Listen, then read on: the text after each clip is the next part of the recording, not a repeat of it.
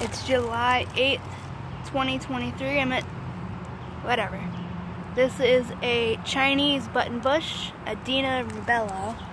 I was trying to figure out what it was and I noticed the sign was there because it has the flowers of a buttonbush, but the leaves are completely different. So uh, there might not be any flowers still open.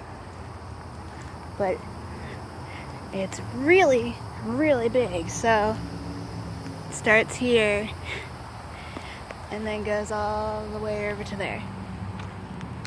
But it had little globular white flowers and these are going to be the seed pods so this is all that's left. But I actually just realized I don't know if I made a video about the wow oh here's one flower. Here's what the flowers look like. This one's kind of dying already they start out pure white so apparently they smell I don't smell anything, but I had COVID, so that might be why.